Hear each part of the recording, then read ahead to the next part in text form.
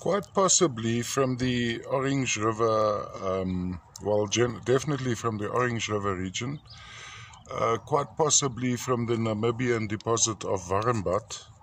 We have a matrix of chalcedony. There's a bit of patterning on the matrix as well. And sitting on this chalcedony is uh, are, are, fluorite crystals.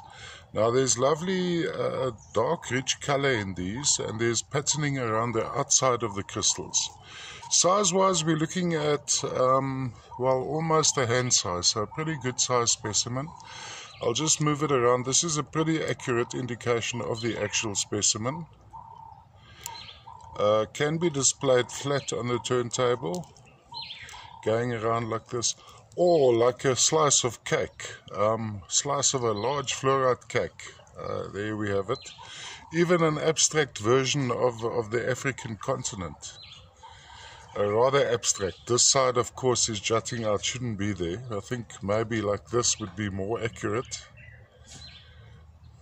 And uh, in, in this context, we would be based right down there.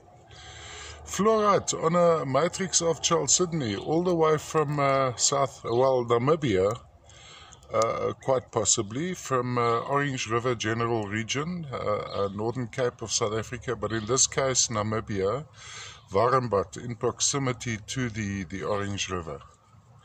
Fluorite on chalcedony.